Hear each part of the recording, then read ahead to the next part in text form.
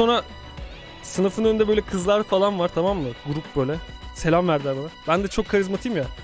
Elimi bir bak elim cebimde tamam mı?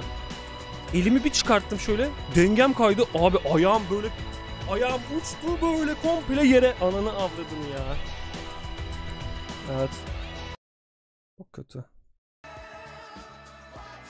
O gün kendime yemin ettim. Bir daha dedim sakın bir daha karda düşersen Allah belanı